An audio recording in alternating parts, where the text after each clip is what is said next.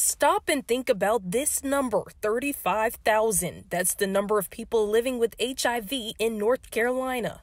Over 55% of new cases are either in the Black or Hispanic or Latino population. Those like Lexington native Thomas Clodfelter. He was diagnosed in 1990. I had to um, come to grips with knowing that I had contracted a disease, HIV, and first and foremost, being able to own it, accept it. Just recently, a New York woman of mixed race who also has cancer was cured of HIV. This woman has received chemo, it destroyed her immune response, and then she was transplanted.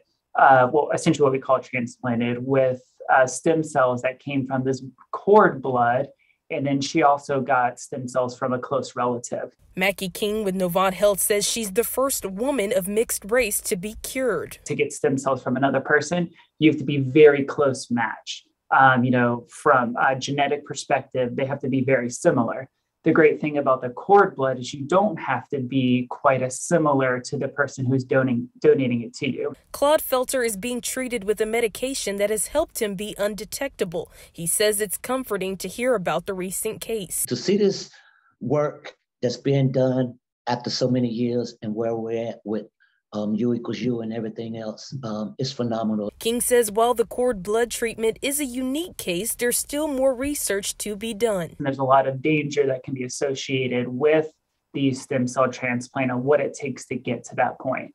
So I don't think we're unfortunately we're not at the place yet where we're scaling this. But what this is important, why this is so important, is because it gives us information for the next step. King says doctors are continuing to develop more medications that will actively treat HIV, including longer duration pills to avoid having to take them frequently.